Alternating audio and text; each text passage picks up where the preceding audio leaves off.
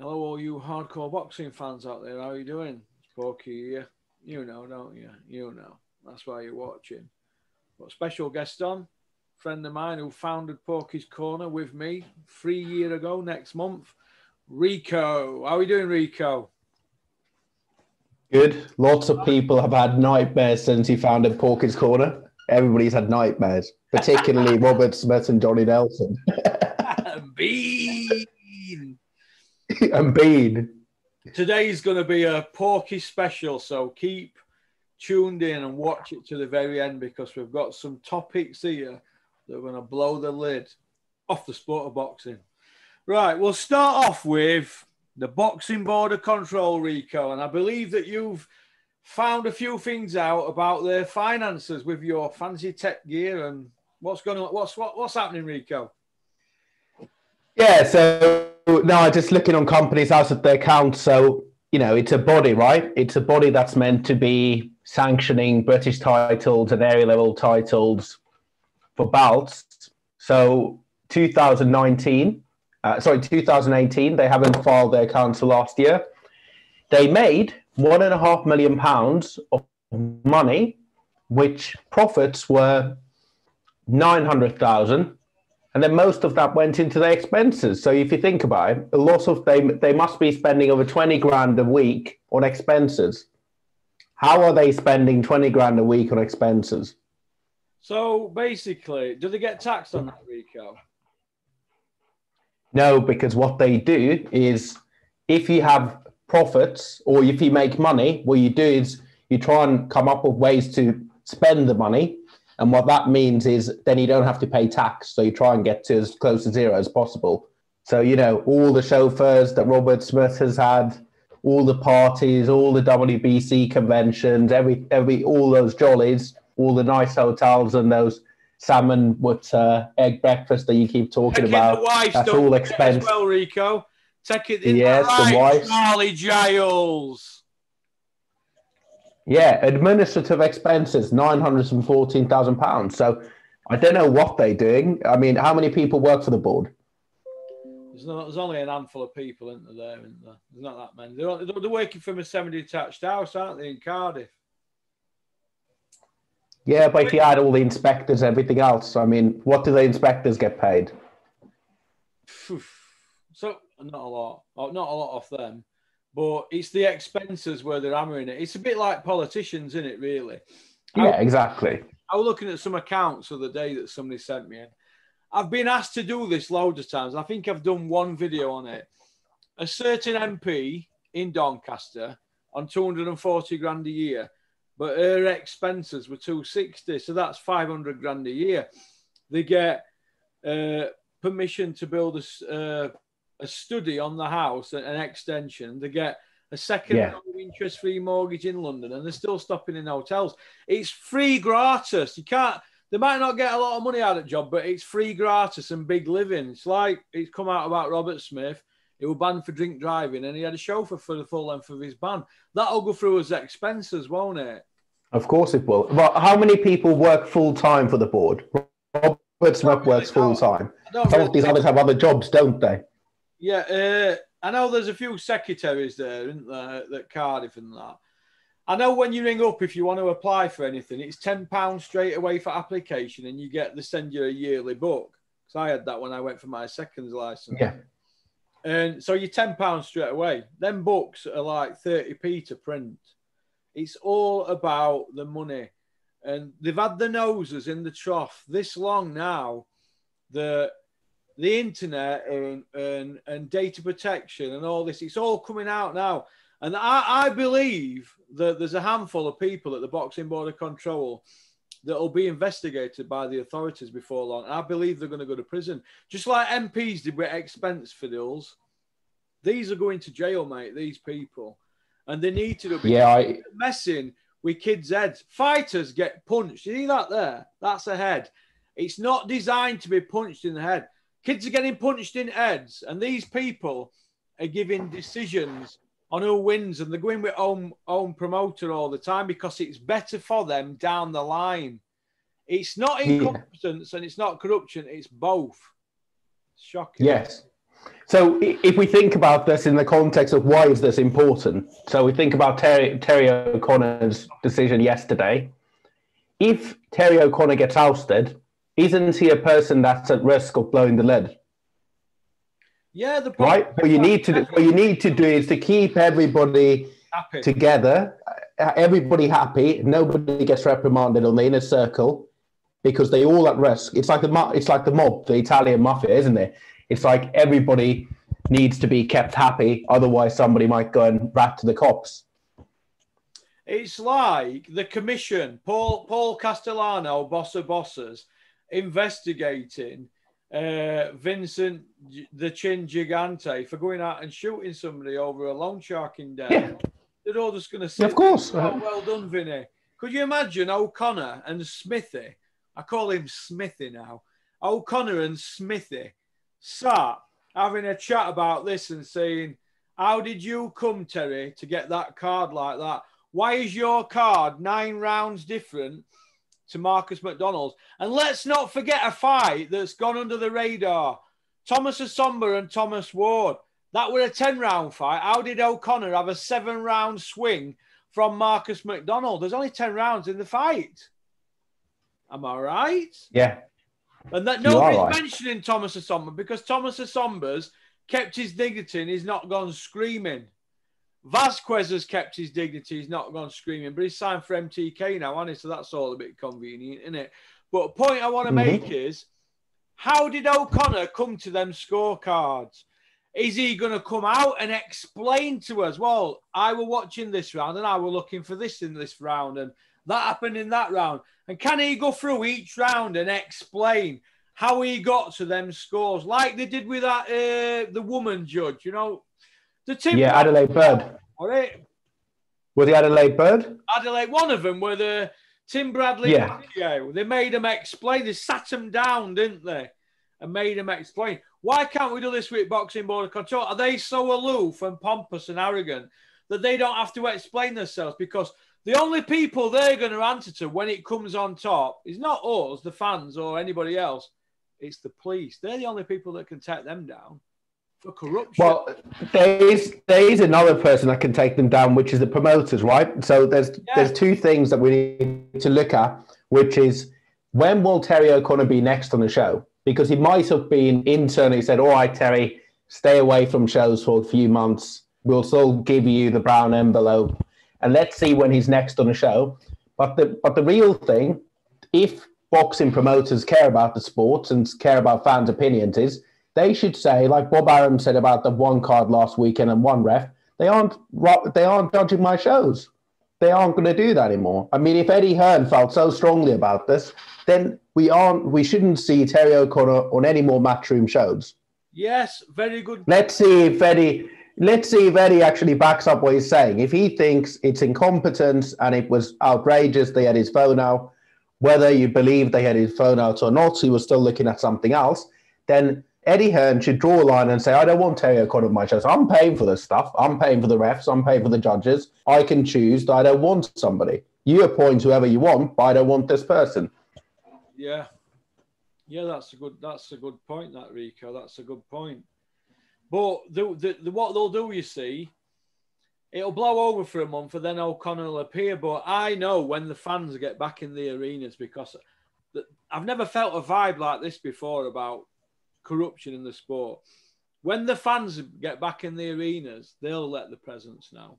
I don't need to whip any storm up. The fans will vote with their feet, let me tell you. Do you remember that film with Jake LaMotta where De Niro said something and he said, The people knew. Well, the Raging Bull. We did it with Brett. Yeah. We'll do it with boxing.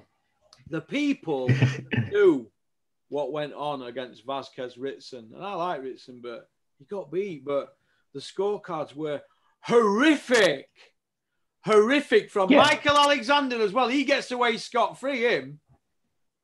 Michael Alexander. Like this is I think the point is this has nothing to do with Ritson because he's the guy. He's the guy in the ring, right? Yeah, it's not his fault how things are scored. you know, he had a bad fight. He's a decent fighter, so best of luck to him. But the problem is this happens all the time, and it always happens to the away fighter. The home fighter always gets a decision. Yeah. It can't be. If there's if these people are incompetent, right? If they are incompetent, then we should have sometimes where the home fighter loses, uh, sometimes where the favourite loses, but it's always the underdog. It's always the away fighter. So that's why we know it's corruption. That's why we know there's something else going on. What you, that's that's true. That. What do you think about Macklin and Bean coming out making a massive point about them not being biased and that, that they had Vasquez? I mean, heaven forbid they should pick a winner or the guy who won. Why they keep forcing it on social media, on YouTube, and on their channels, on other people's channels? Seconds out, Boxing Social, IFL, Sky, Matchroom Boxing, plus their Instas uh, uh, and Twitter. They keep forcing it. We weren't biased. Look what we we even said Vasquez won. And Ritson's a matchroom fighter. No, no, no, no, no. Ritson's MTK, not matchroom. So yeah, well, look, they saying what they saw, what they are. Is they shouldn't be commended for doing their jobs, right? If you if you do your whatever your job is, if you not shit at it, then you shouldn't get credit for being not bad at the job. Whereas they were just doing their jobs. But will they call out Terry O'Connor? Will they say that Terry O'Connor's bad? Are they talking about? They this is not about their scorecards. This is about corruption in boxing and incompetence this is nothing to do with those two. They shouldn't be out there telling that they've done their jobs and expect to be commended. Do you feel now that the fans, since the Ian John Lewis, I mean, how many chances does Ian John Lewis, Terry O'Connor need? Do you think that since these have done that many bad mistakes, do you think that the fans are going to be on them every show now? And you, th- oh, you know what? Fans have short fans have short memories, right? So yeah, like I said to you before, you know, with FIFA, when Sepp Blatter got ousted um, and he was corrupt and incompetent, they had to get external investigators to look at what was going on and all the money that was being funneled to these different places. And everybody in football knew this was going on. The clubs, you know, fans, everybody else, you know, countries winning World Cup bids that shouldn't be winning them, all sorts of backhanders. Ultimately, it's all down to the fans. I mean, the fans can as as Robert Smith said, he doesn't care about the fans. Does Eddie Hearn care about the fans? No. I mean, most of these people in boxing don't. So there's only two things the fans can do. They can keep complaining, keep on trucking, as your mug says, uh, and also just not buy pay-per-views, not buy tickets, not not go to shows, and say why they aren't doing it. They've lost faith in the governance of the sport. They don't think it's a fair sport, so that, that's the only thing fans can do because what other power do fans have? Don't watch the don't watch the Sky shows. Stream the fights if you want to, but don't watch them on Sky. Let the numbers drop. Uh, be vocal on social media and say why you're not going to watch it. You know, start boycotting boxing. And we spoke about it separately. You said should fighters not fight because of Terry O'Connor? I think of course they should fight because they need they need a payday, but it's managers and promoters that need to stand up and fans need to you know, make their voices heard. And this can't be just a moment that people say, all right, well, the board are incompetent. We knew this was coming. Just don't watch the Sky shows, stream them, do something else. Don't buy tickets, don't buy pay per views, and make, make it clear why you're not doing it. Did we have a big stink up like this though about drug testing with Eddie Hearn? They were going to make a stance and that. That were on a Saturday night, and then on the Monday they made he made a fight with uh, two drug cheats. I'm not going to say who, but and, and is this the same sort of thing? Eddie Hearn's come out and said Terry O'Connor's a disgrace, is this and that. But once the dust settles, O'Connor will be back on a matchroom show, won't he? And Eddie will of course. I mean, look, it out because he's got of course he will. neck on him, money. Yeah, I mean, if I was Eddie Hearn, right? Well, if I was Eddie Hearn the way he is now, well, I mean, personally, I'd just say no, he's not coming on my shows. But if I was Eddie Hearn, what impact did uh, Terry O'Connor's poor judging have on him? None. If anything, it gave his fighter a good decision, right? Well, Ritson's not his fighter, but it gave somebody that the, well, uh, the yeah, but somebody that he works, somebody that he works with, right? It gave them a good decision. Yeah. So this incompetence and corruption only benefits Eddie Hearn, Frank Warren, and the home promoters fighters. So why would they call for change unless they care about what fans think or want integrity in the sport? They'll look to do that fight again now. Vasquez has gone to MTK, won't they? I mean, Vasquez was robbed on an MT. I was there. I went to York Hall to watch uh, Vasquez against Ohara Davis, and Vasquez was robbed there. But Ohara Davis, to his credit in that fight, when they gave the decision, he raised Vasquez's hand and he said, and he was shouting to the crowd and said, "This man won the fight." He knew it was wrong. Do you think that it were another MTK decision for an MTK fighter? You know what? I, I don't really know how this stuff works exactly, whether it's the managers talking to the judges and refs or whether it's the promoter. I, I personally think it's it's sort of like one of those unwritten rules, right? That we know, you know, we know which way to score the fight rather than anything else. Going on too long though now, is it? And even I'm starting to get, I even me, and I'm I love boxing with all my heart, but I, I'm starting to, I'm starting to fall out of love with it now.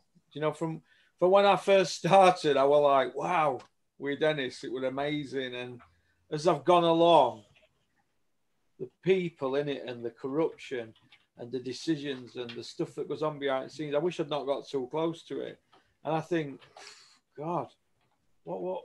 Yeah, like I, said, I, I, feel the same way. I, I feel the same way. Fighters, don't I? Me, I always back the fighters, and and I, and I think, God, people are getting punched about, and you've got promoters and, and managers manipulating the system, even trainers, border control, commentators. It's a cesspit. And I, and I think the reason the governments have not got involved because they said it's rotten to the core and they've just left it for tens of decades, haven't they? Just leave it because it'll never change. You've got people like Bob Arum who's been in sport 54 year and he won't die. They tried to they've mm-hmm. tried to kill him off ten years ago. He's back stronger than ever. He's like Michael Myers out Halloween. Bob Arum will see me off. He's he's forty year older than Probably me. will. He'll see me off. As will as will Don King. Hey? As will Don King. As will Don King. He's been at it forty nine year. Warren's been at it since 1980. Hearn's been at it since 86 stroke 87. But these people have had the noses in the trough that long now, and the rules will be there to be manipulated. And we can make ripples, but I doubt very much that we're going to stop it. The only people that can stop all this corruption is the fans. They've got to vote with their feet. The casuals have caused a lot of this, but the fans have got to vote with their feet and said, you know what? I'm not buying that pay per view. That's not pay per view. Do you know what? I'm not going to that show. It's a crap show. Instead of, yeah, we'll go there and we'll get pissed up and off our heads and it's an event. Forget the event. What about the boxing? Forget it's turning yeah. into WWE. We've got different scripts every day. It's shocking. Anyway, moving on. Uh, but I think it's an important point you make also that don't I'm not saying stop going to boxing. Don't go to the big shows if they crap. Go to the small hall shows. You know, support the small hall promoters. Support the local kids. Don't you know? Don't support the big guys because at the end of the day, the small hall promoters, whether they be guys like um, you know Steve Goodwin or you know Steve Wood or these other guys, they are guys that are involved in the sport. They're not making much money out of the sport. and these are guys that bring the kids through. They aren't the ones that have the sway with the board. Support those guys and support the local fighters. Don't go to the matchroom shows. Don't go to Warren shows because that's the problem, isn't it? The more you go to those shows, the more you are getting the status quo to continue. Yeah. Well, something needs to be done because it can't go on like this anymore. I mean, these people are just spinning narratives and they're getting caught out with their lies, and then they just spin another. Eddie Hearn were caught out with a corker other day. He were asked why. I think it was Rob Tebbutt who caught him out. Why? Why did you say that Dillian Whyte got up and all this? And he, and he went, I don't know. I, I, thought he did, and I just sort of went along with it, and I believed it myself because I'm selling it. And then he just sort of laughed. He sort of laughed. And then he was like, Phew. you know, it, it, reminded me of a story I heard because you know Jeremy Clarkson's from Doncaster, Don't yeah. Right, I'm not going to say. No, I didn't know that. Yeah, he's yeah Jeremy Clarkson's from from Doncaster, and he he uh, he were at school and he were quite annoying at school, and he used to flick back of this kid's ear who were a smaller kid, and he were the biggest kid in class, Clarkson, and and he and I've heard Eddie were like that at school. You know, one of them annoying brats because Clarkson's yeah. from money in it. His mum uh, designed Paddington Bear, didn't she? You know, Paddington. Yeah. Bear, the, the car yeah. or whatever. His mum were, were, were one of the forces behind that, but Clarkson were annoying at school, and Eddie Hearn, he's, he's like that, annoying, pompous, arrogant, a bit like the border control. And when Tebbutt caught him out with this lie, Eddie Hearn, he just went, Well, I, I don't know. I just thought that happened. And I just sort of went along with it because I'm selling it. He was like, he knew what he were doing was lies, but they kept it up. Like Bellew the other day got caught out with a corker. There's nobody done as many shows as Matchroom this oh, year. Oh, I remember that. Done eight, but Bob Arum done 36. so, but, and then Bellew were put in his place, and then he sort of like turned it round in his tweet. But it's if it's not Bellew, it's Nelson or Macklin. You've seen the Macklin one. We read that out, out on my channel, didn't you? Yes. Them details. Thank you. Point I want to make is these people are from the Bean Masons. They are part of the problem. But it's filtered down, isn't it, from being Ed Robinson to these. It's filtered down. They know it's wrong, but they can't help themselves because they've got an exclusive deal with Matchroom. I don't want to keep banging on about this because it's becoming boring, but Adam Smith's narrating the story as a commentator. But Adam Smith is the head of Sky Boxing, who have a deal with Matchroom that's exclusive. It's a conflict of interest on a massive scale. You wouldn't get the head of Channel 5 boxing commentating and narrating stories or the head of BT Sport doing it, would you? So why do we? Or Stephen Espinoza. Or Stephen Espinoza commentating on Showtime fights. You wouldn't get that, would you? Stephen Espinoza commentating on Showtime fights. There would be hell to pay. Udabella and them would flip their lids. But we put up with it with Sky, don't we? So He's been being looked after behind the scenes. Is he on bonus? What is fucking going on? I want to know. You know, you know, uh, I always think about this.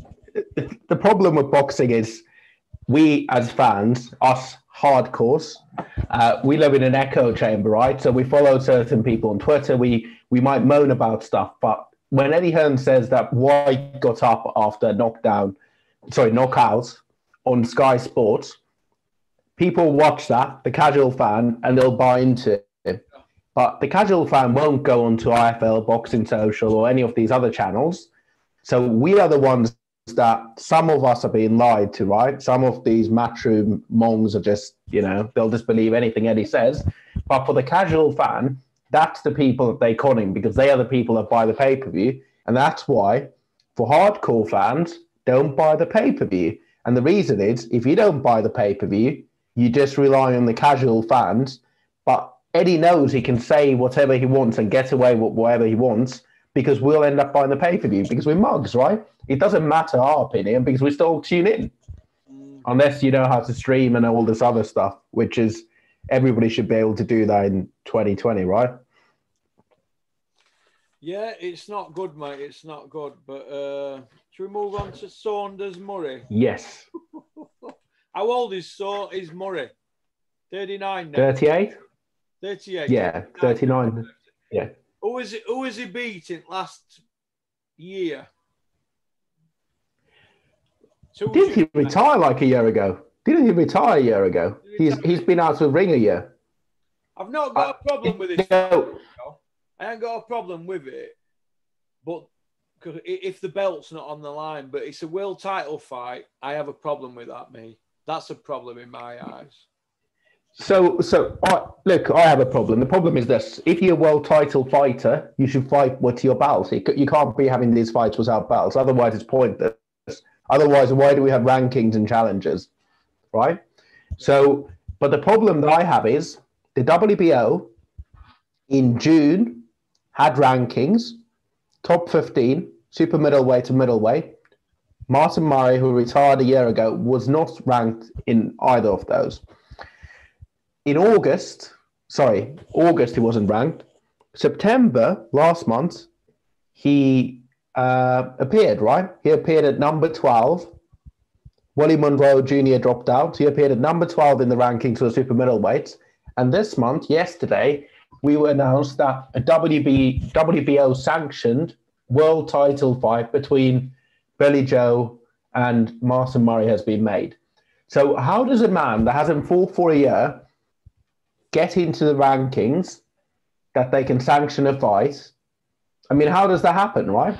I'm going to tell you how it's going to happen. Eddie Hearn's going to need a massive favour from the WBO in the next few months because if Usyk beats Chisora, Usyk's going to want his WBA mandatory shot, in it against Joshua Yeah. or Pulev. Now, so Eddie Hearn's going to need to keep the WBO sweet and in his pocket. That's why, because otherwise, Saunders Murray would be for no belt. Saunders had a belt, didn't he? And he fought somebody, and they want a belt on the line. Was it the Charles Adamu fight? Uh, maybe, yeah.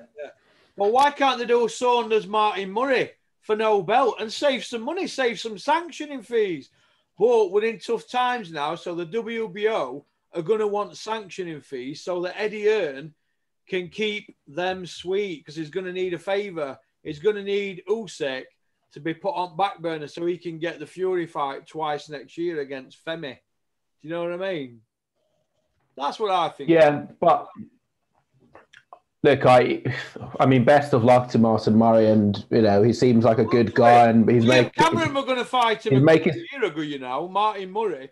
They got offered the fight on the Monday after Liam beat uh, his last uh, won his last fight, and he, he knocked it back, Liam, because he said, "Oh, I've been out and all that, and I've put about a stone on." And, and Dennis were like, "Well, you've just done a camp."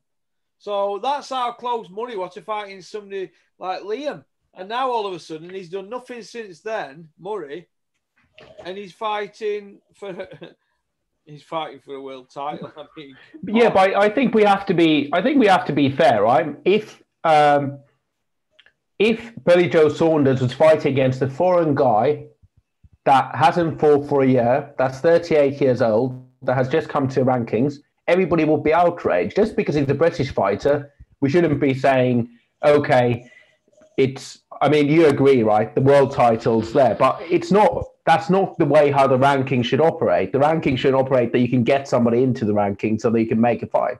listen, There's lots of other fighters. yeah, yeah, that's true. But Martin Murray now can be sat with his mates in Warrington, in Warrington saying, "I'm one fight away from Canelo." Am I right? But how many interviews have we had with Billy Joe Saunders over the last few months talking about he wants to fight against this and this guy? And you know he's ready for this, or you know he's We've got big fans. five And, years. We've heard it for five years, haven't we, with Billy? but the moment he went into rankings, which was last month, that fight would have been made. It would have been close to being made. Yeah, yeah, I suppose. Look, you could say that Billy and Martin Murray have been inactive, so it's a decent-ish fight. Yeah, but look, you've got got a problem with the fight. It's the belt on the line. I've got a problem with. so on for those rankings. You've got Zach Parker, who's fought on matchroom uh, cards before. He's a, obviously a young British fighter. I don't Zach personally Parker. rate him. I, yeah, he's number two in the rankings. That's one guy that they could have fought made easily. Danny Jacobs, another guy, matchroom fighter. They've kept it in house with an MTK fighter, though, aren't they, with Murray? Yeah, but I think is Zach Parker MTK. No, but Murray, isn't he? Yeah, but, uh, but that's what I mean. It's like you, you've got also Lerrone Richards. He's number 14. Lerrone Richards, yeah. Where's So you've William got- Hutchinson? He's 13 and 0, isn't he? He's not ranked, but you've got on the super middleweights, you have Zach Parker, Jacobs, and you know Lerrone's obviously a ranked fighter, but ranked with WBO. he's ranked 12, so he's come to 12 spots um, last month. So he wasn't ranked. He wasn't ranked before. So that's when the fight were. That's when the fight were announced a month ago. Then. Well, it was announced yesterday, but it was probably made a month ago because otherwise you're not going to be slipping Murray into the rankings, are you? Yeah, that's what. A guy that's been in, inactive for a year, you're not going to slip them into rankings. him in a month ago and then mid sorting out the money since. It's smart moves, isn't Yeah. it? But it's taking a piss from a high balcony on fans yet again. Yeah, and it's, I mean, smart moves from a business point of view, yes, but it's not for the advantage of the sport. What we want to see is guys like Zach Parker get a title shot because he's 19 0 and he's earned it. I mean, he lost to uh, Darrell Williams, but still, I mean, he he got the decision, which is one of the worst robberies in a British boxing ring. But still, what we want to see is the top contenders fighting guys for the title. If you're world, if you're world champion for many years, like Billy Joe, 31 years old, how many takeover fights do you need?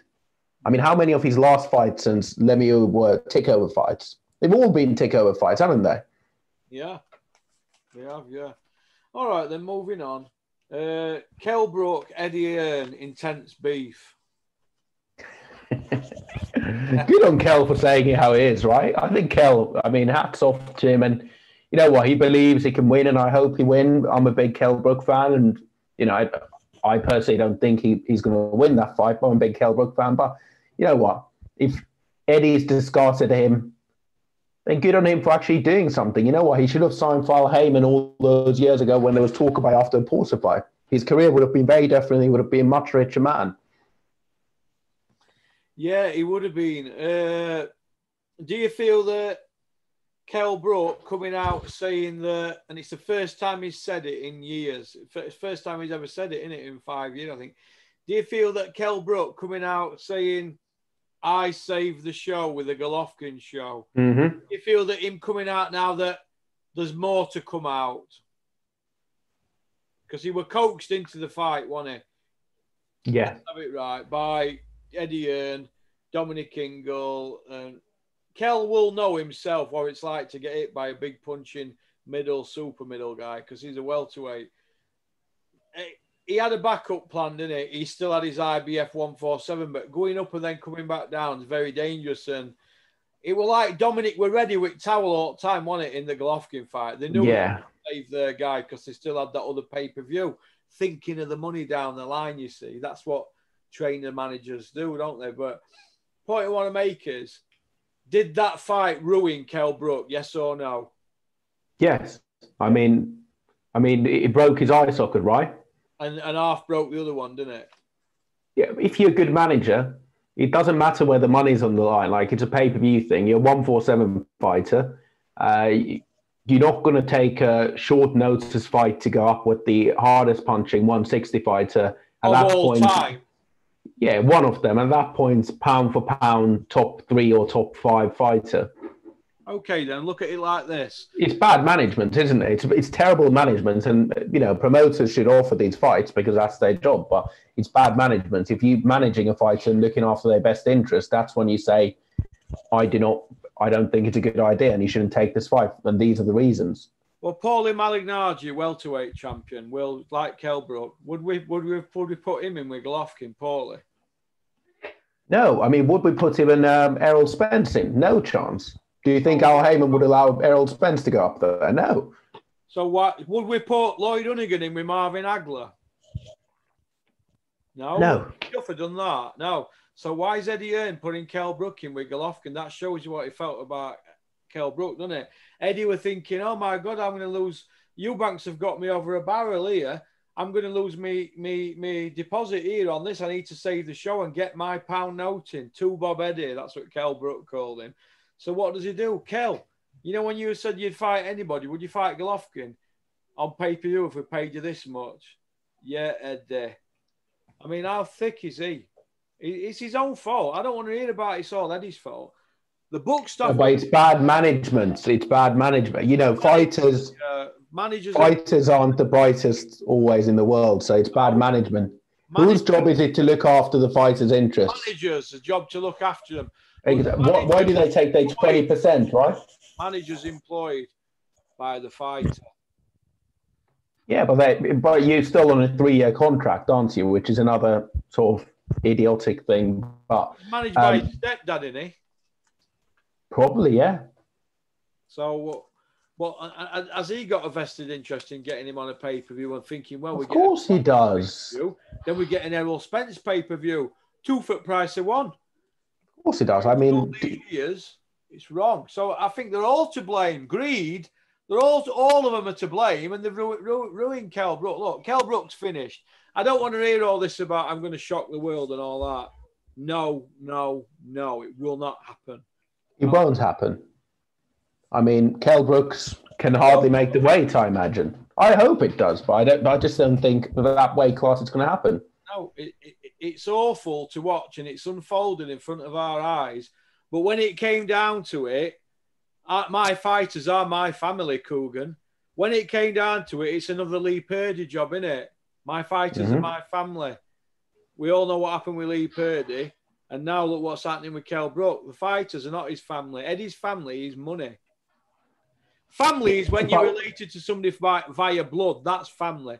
Too many people start coming out with all this. Is my brother from another mother in boxing and all this shit, and he's like family and blah blah blah. If you're not blood, you're not fucking family. Get a grip of yourselves. You know what I mean?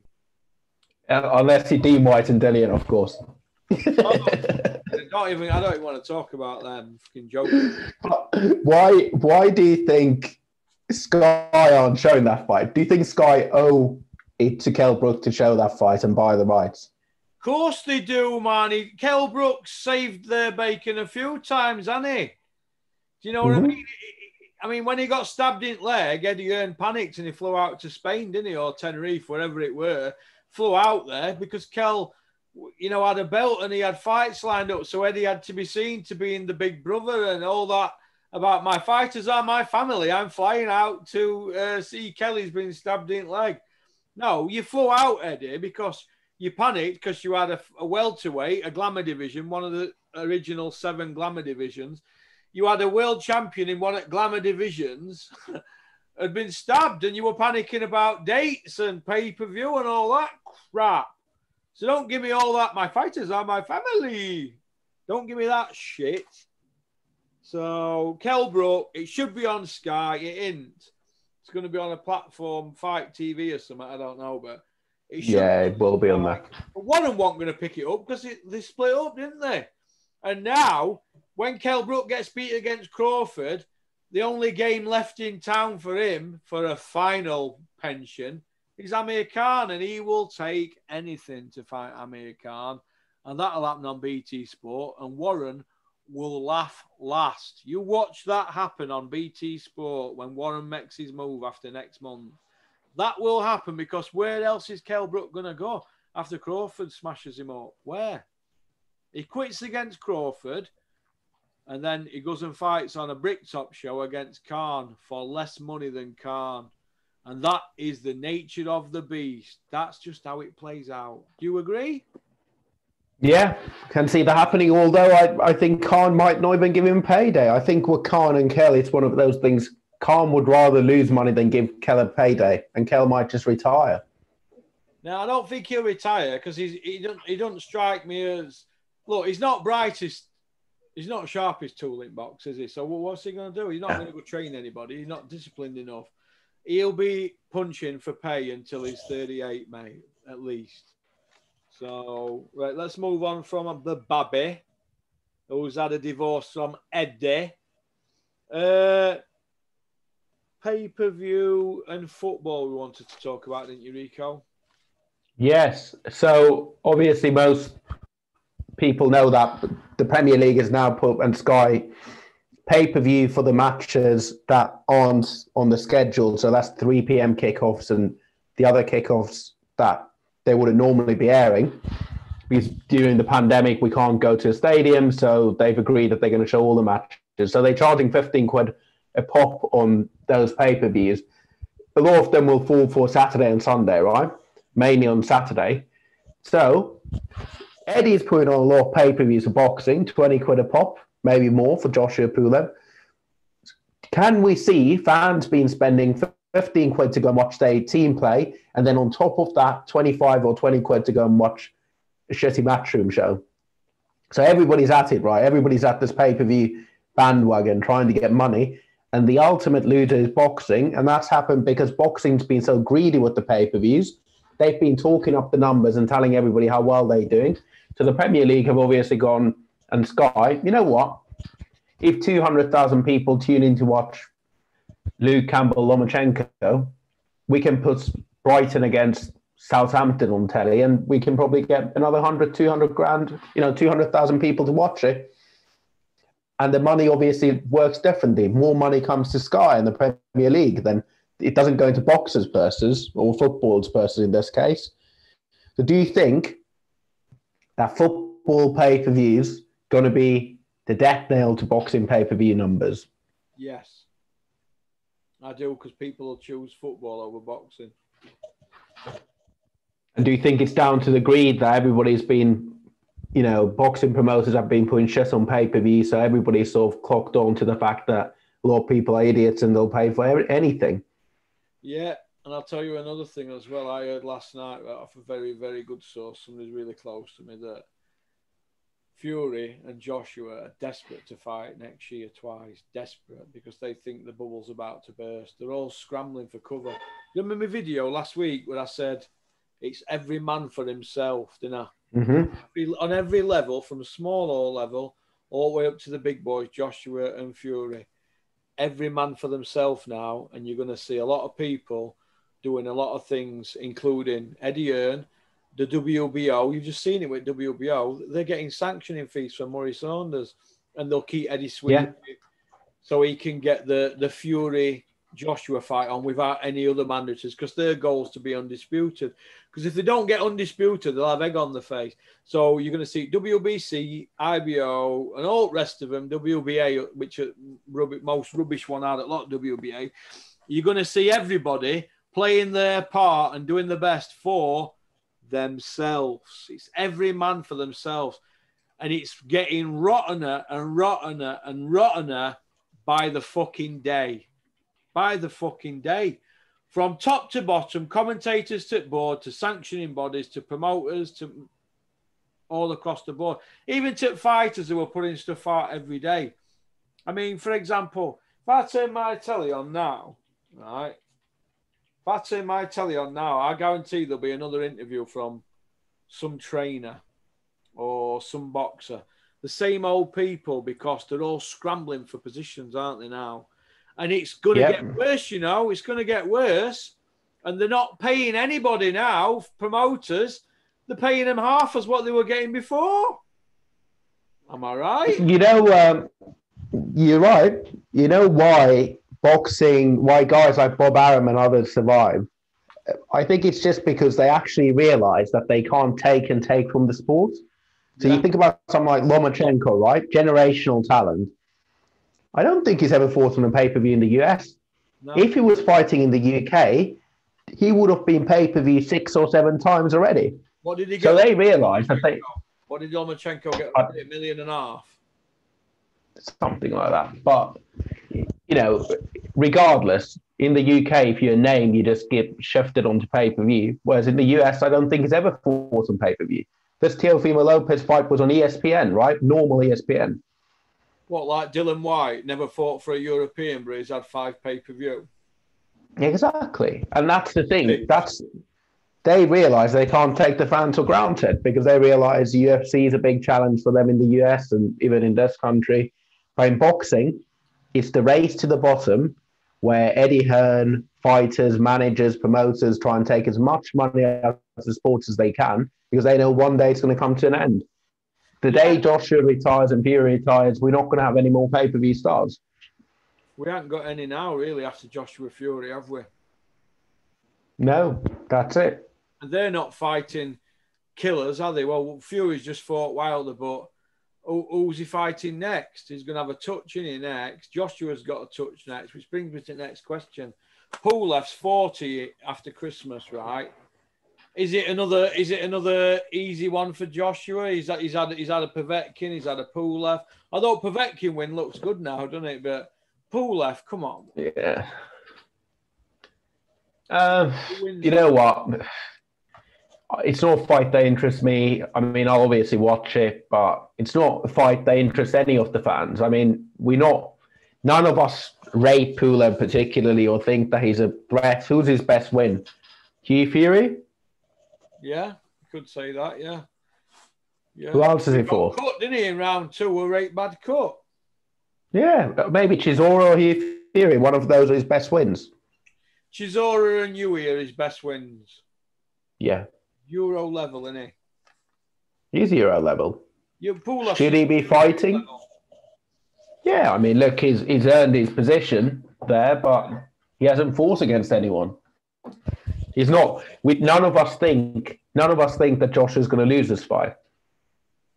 No, we don't. Yes, I mean Joshua didn't look good against Ruiz first or particularly the second time, but we don't know what Joshua's mental state is. But at the end of the day, this isn't a fight that excites us. There's about ten other heavyweights that we'd rather see Joshua in with. Yeah, yeah, I agree. All right, then moving on. Uh, Dillian Whyte Povetkin is that a pay per view? And does Dillian Whyte win the rematch? Um, I think it's a pay per view. Yeah, sorry, I don't think it's a pay per view. I didn't think it was a pay per view the first time, so that hasn't changed my opinion. There's no the belt on the line. You mean in the current climate? It, I suppose it could be passed as pay per view. If she's no, I mean if if Lopez against Lomachenko isn't pay per view, then it shouldn't be pay per view. Oh, and yeah, also, yeah, why, and why should a guy that hasn't fought for a world title and is not fighting for a world title make millions of pounds? Otherwise, he's just inflating purses. Dillian Whyte shouldn't be making millions of pounds. Should he? no, Dillian Whyte's not fought for a European title. He's swerved anybody that's any good for money. He's fought. Yeah, I mean, look, it's not. Rivas fight wasn't a pay per view. Chisora fight wasn't a pay per view. Dillian Whyte shouldn't have fought a pay per view. If we want to keep the standards of pay per view at a certain level, then if you're not fighting a big unification fight or you know a big crossroads fight for a world title, then you shouldn't have pay per view fights. Otherwise, any heavyweight fight will turn into a pay per view. We might have Dave Allen against Chisora in pay per view in 2022. If Dave Allen beats Lovejoy, he's a WBA ranked top 15 world ranked fighter. He could end up getting a voluntary against Femi. Yeah, who knows? One fight from Femi, another one like Martin Murray, one fight from Canelo. That's the nature of the beast, isn't it? Yeah, and watch uh, the Bean Masons tell us that Dave Allen, look at the right hand he threw against uh, Nick Webb. Joshua's vulnerable for the overhand right. Do you know Dave Allen's opponents got 57 opponents are his 19 opponents, the average is 3, 10, and 1. I mean, he's never fought outside Mexico. What does that tell you about a heavyweight fighter that's in his mid 30s, that is a US fighter that's never fought outside of Mexico. What, why do fighters go to Mexico? To build their records, right? Like glass collectors and kitchen chefs, don't they? Exactly. I mean, some of these shows aren't probably even sanctioned properly. You just oh. send in a card and say, I won on the show in Tijuana or somewhere like that. Yeah, that's how it works. He could be the a terrible, terrible journeyman with a 19 and 0, 19 KO record. And he is because the rankings of them that he's beat, are, his box BoxRec 444. Dave Allen's is 46, so he's 398 places above him. But yet he's 19 and 0, Dave's 18, 5 and 2. It's a mismatch of terrible proportions, Riku. 18 of them 19 wins have got losing records. But Sky are going to dress it up as as the guys the second coming of Gerald McClellan. Yeah, Bean, exactly. Imagine Bean going into a frenzy. Nice to be back, Johnny, in the blue ribbon division. Rough, tough, rugged, durable, all action, compelling. That's what he'll be doing, won't he? Bean. You know what? Lovejoy's done he's done a good job, right? He's just built, padded up his record. He's got a ranking, and he's been waiting to sell that record to the highest bidder. And that's the game, isn't it? After this, he will never fight again. He's just one of those guys that he's there to wait for the big fight. Like remember Trevor Bryan, the heavyweight. Bryan, yeah. What happened to him? I don't know, but he's another guy, right? Got up high up the rankings and waiting to be mandatory and waiting to get a fight. I mean, he's a Don King fighter, wasn't he? He got to number one, didn't he? Fighting guys who padded records, didn't he? Yeah, exactly. I mean, that's the game for some of these guys. I don't know. It's like being a Steffi bullfighter, isn't it? That's what he does with his fighters, doesn't he? Pads them out. Your your favorite, your favorite, uh, the man that tweets uh, on behalf of uh, other people. Yeah. The man who That's really... himself from Terry Harper's account and then replies back on his account. Steffi, stop talking to yourself. You'll go mad, you know if you're not already bad, if not already mad. Uh, which brings me to uh, Callum Smith, Callum Johnson, Josh Warrington, John Ryder, Martin J. Ward. What is Eddie doing with them guys?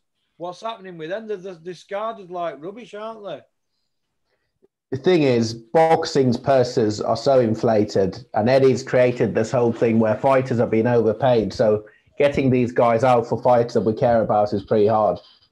I don't think they can make it happen. So what Eddie's doing is playing a waiting game where he's just going to say, "Well, if you don't accept this purse, then you're not going to get on the card this year." And and he's just waiting it out. He's waiting it out, and then at some point they'll come back and say, someone like uh, Josh Warrington, okay, I'll accept the 80 grand and I'll have a fight against the knockover job. But Josh Warrington needs to get defending because otherwise, I don't know what the rules are at the moment about vacating titles or being inactive. But you know what? He should just send Josh, Josh Warrington to the US. Let him go on a, a top rank show, fight there. You know, Josh Warrington is not even 30 year old yet. He's still 29 and he's 30 and 0. And he, he's, he's got a good record. What's he be? About three world champions, uh, maybe four. I'm not sure. I think it's three or four. He, he's fought everybody. He's won. He's gone all the way through the levels, which is what I like. He's gone all the way through levels, and he just seems to be not spoke about. Callum Smith's another one that gone through levels. He's not spoke about. It's craziness what's going on in front of our eyeballs.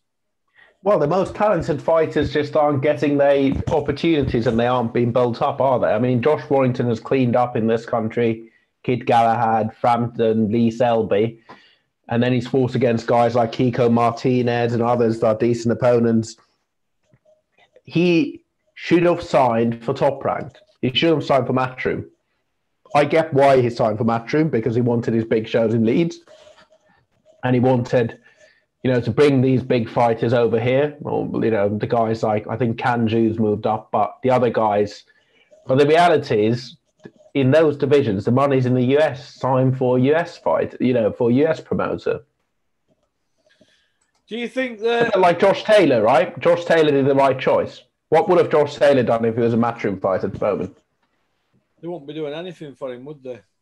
No at least Bob Arum can get him onto a Warren show to fight against an easy opponent. Do you think that Frank Warren's got a crystal ball because he let Billy Billy Joe Saunders go, go and he, obviously he had compensation for that. He was compensated, so I've heard. Warrington, he let him go, right? They've Beefy Smith, he let Beefy Smith go to Eddie. What have these guys done? We Eddie. Yeah. You know what? Frank's timing it all right. He knows he's got a young crop of fighters, or youngish. You know, if you yards a bit older, but like yeah, you've got Dennis McCann, you've got Dubois, Archie Sharp, Lerrone Richards, all these other guys that he has currently, and they're all going to come up together. So in two, three years' time, Frank will have the strongest stable. Who will Eddie have? Think about it. Three years' time. Who's going to be Eddie's? Eddie, is he? No, it. I mean, there's not another Olympic cycle, so you can't sign them. And even if you sign them for Olympic cycle, they're going to be three, four years. Yeah. So Eddie can't. Eddie's not building a stable. Frank's realised some of these older guys, they're expensive. You know, they're expensive to have. The sanctioning fees are expensive. I'm going to do something that's a bit not as good as Matchroom, probably as a product, or I'm just going to run these shows, build these guys up, and then in two, three years' time, BET will have world title fight, you know, competitive fight after competitive fight. You know, guys like Mark Heffron against uh, Denzel Bentley, that's a great fight. He's matching them against each other. I mean, I'm not Frank's biggest fan, but you know, he knows how the game works. It's all about long term, and sometimes you just cut your losses. If somebody's a world, you know, if somebody's a world champion, it doesn't mean that they are going to help you as a promoter. Or, you know, they're going to bring eyeballs because look at that show that Billy Joe did in uh, Stevenage, right? How much of a disaster was that? How much money do you think Frank lost on that? Frank will have looked at that and thought, do you know what? Uh, will that finish? Will that the end for them? Oh, probably, yeah. I think that was probably. Yeah. I don't know. Somebody might be a good fighter, right? Somebody might be a good fighter, but they might not attract the crowds. They might not get people watching them. They might annoy people. It doesn't mean if you're a good fighter that you're going to be necessarily box office or entertaining. Yeah. Yeah, I see what you mean, but I think Frank's ahead of the game and he's planning for the future. Eddie's just planning to get Joshua in with Fury and cash out. Joshua's probably got six fights left, on it. Fury two, Pool left, Dillian Whyte, maybe one with Wilder or two. That's six fights. And then I think mm-hmm. they'll get Eddie could keep it going for another six for Joshua. And then I think that'll be them gone. They'll, they'll not want to wait, wait out pay per view, Eddie, will he? They'll not want to do these shows if you know pay per view stars because he'd just be going around in circles for a lot less money, wouldn't he? He'd have a lot of hassle on his plate, wouldn't he? Well, Eddie's Eddie's against the race. You know, Eddie's sort of racing against time here. So Eddie's game is this: get as much money out of, as possible from the DAZN contract, as long as DAZN keeps going. Just fill up your obligations, get as much money as possible, pocket as much for yourself, and then once that's done, because that's a bad contract, then he can leave the sport. See what happens with Sky. I mean, DAZN are now in the UK, aren't they?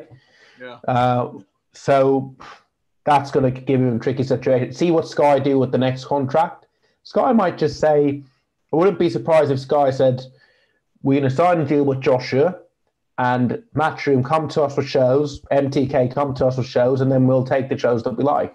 Yeah, yeah, yeah. I see what you mean. Yeah, it's possible, but uh, I, I think that it's all pointing towards maybe Joshua signing a deal with Sky and Eddie mm-hmm. behind the scenes being the front man for Joshua and Sky, you know, and that, that working out that that kind of way.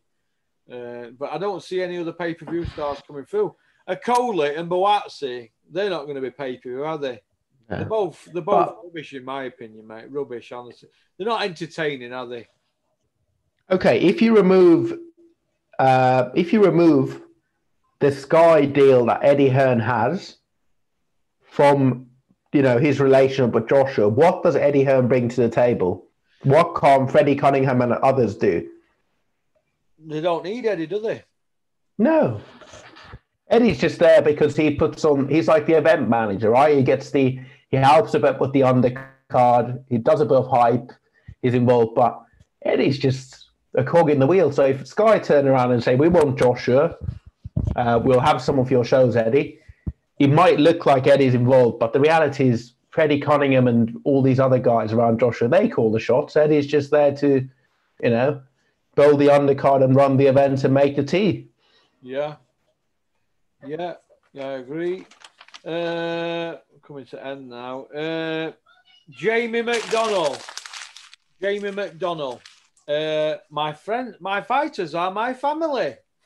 Jamie McDonald's walking around Doncaster, uh, nearly a cruiserweight in weight, and, and his brother, fat as pigs, Michelin men.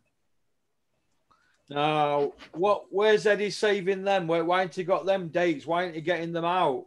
Are they no good to him? What, what's happening? Thought they were his family. We saw the we saw the video of uh, Jamie McDonald pest, didn't we? Yeah.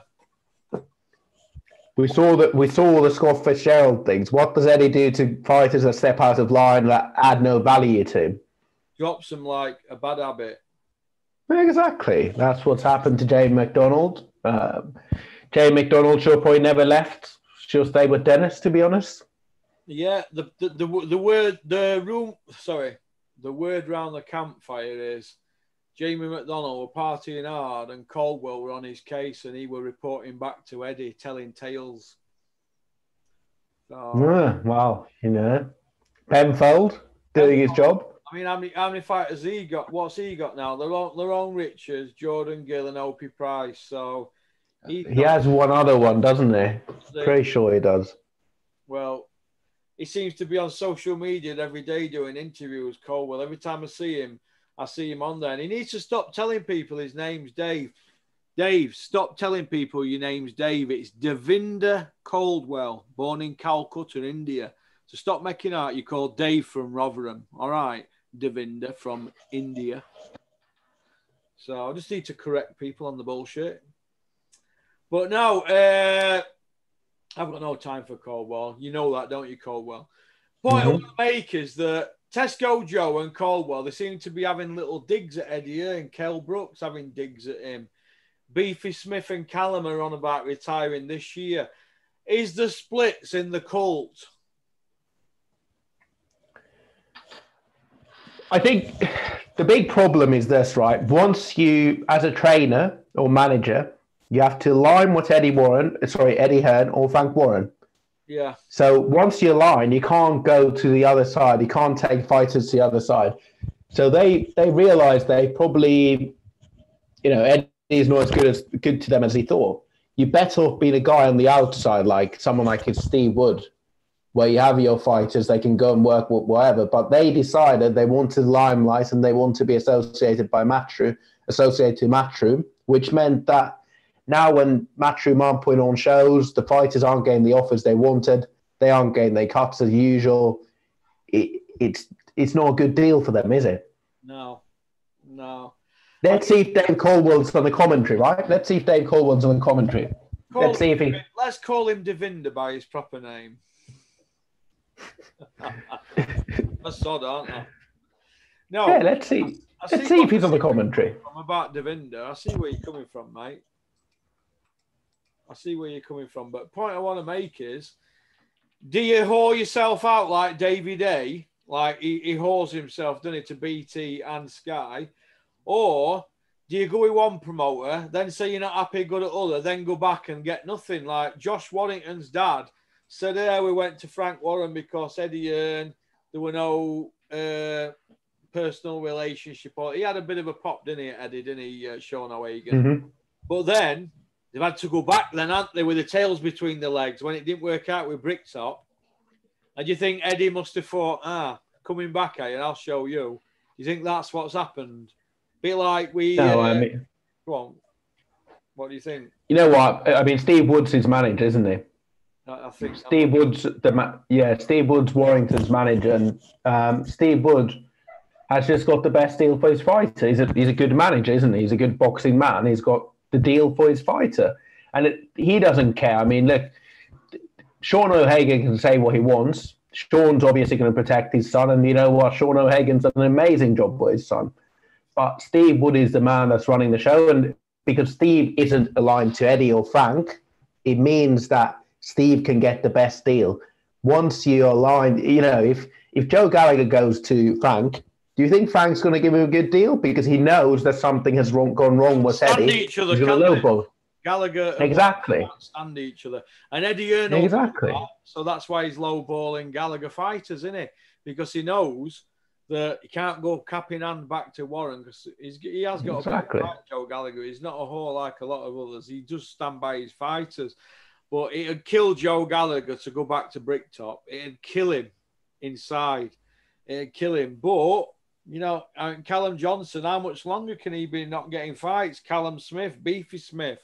What is happening with these people? Natasha Jonas, they were promised Harper rematch, and Eddie's reneged on it, and he? Well, we know Stefy Bull don't want the fight, but Eddie's reneged on it, and he? On the Jonas yeah. match with Harper.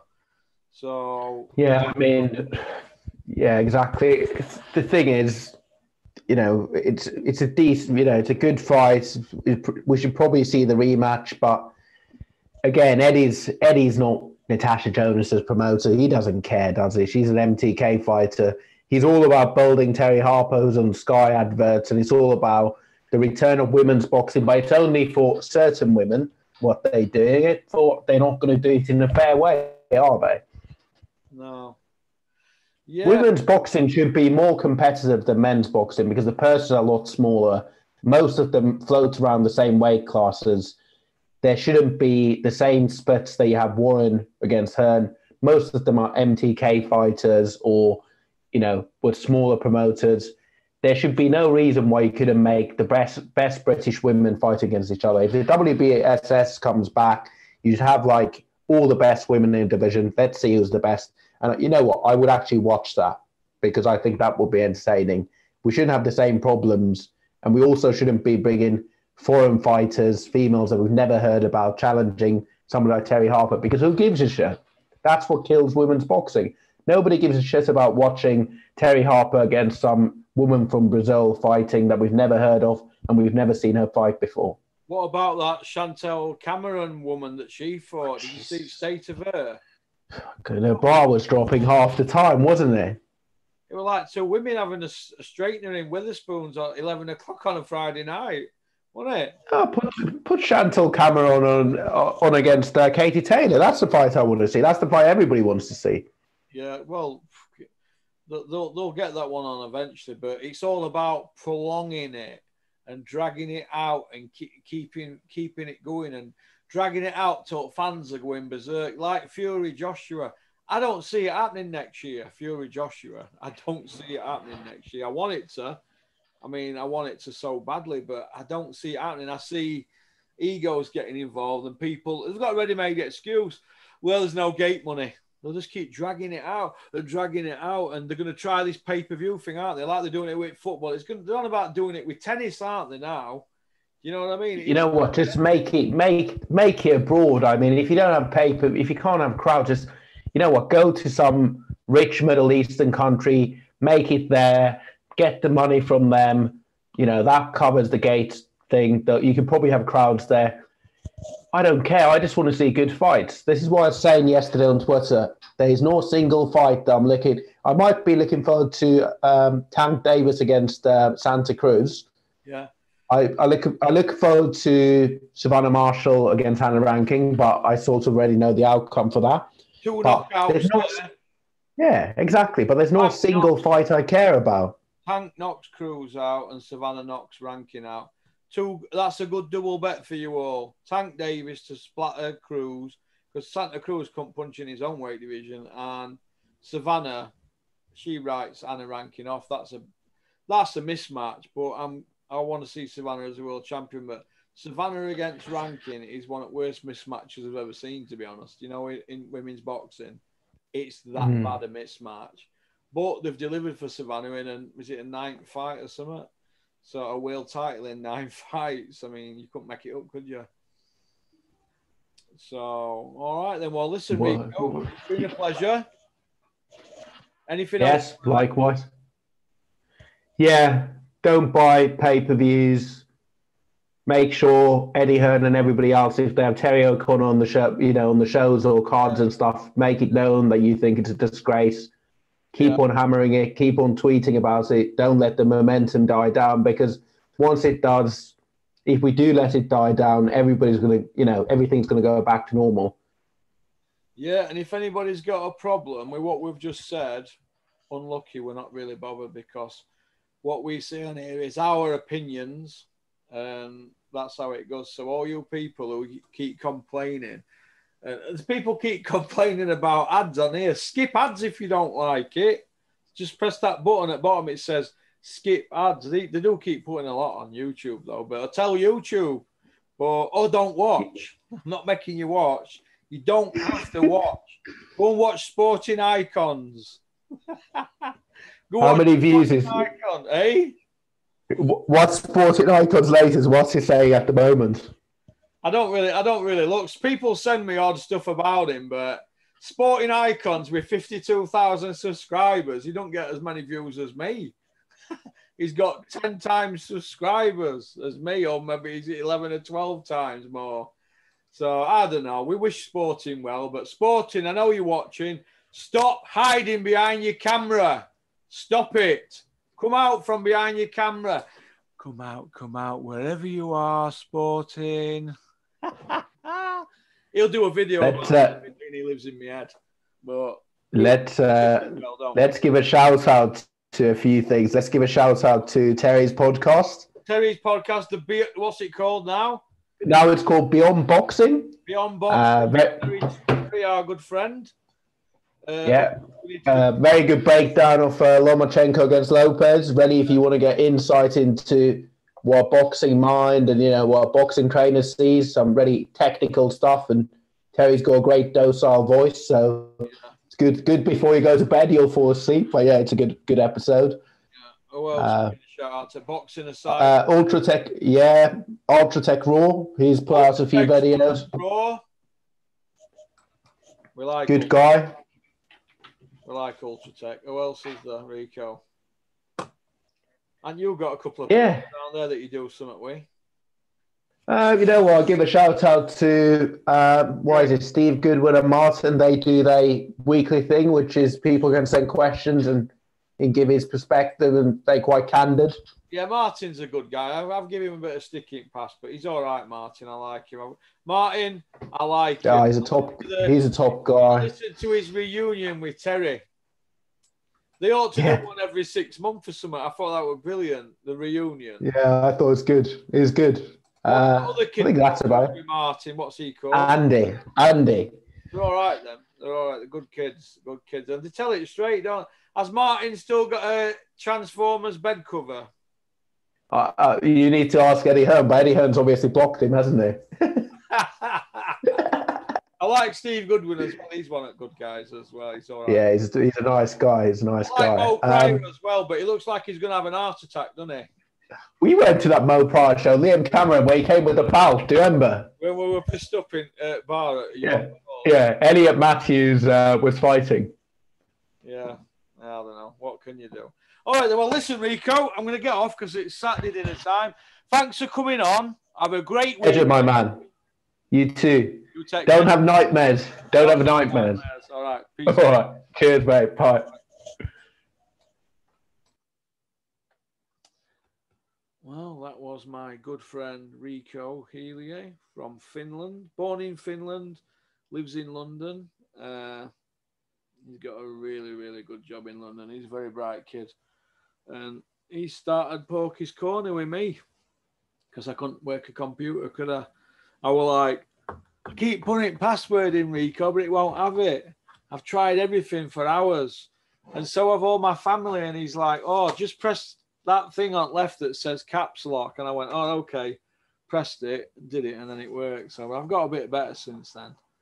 But uh, yeah, he started Porky's Corner with me. He's a good guy.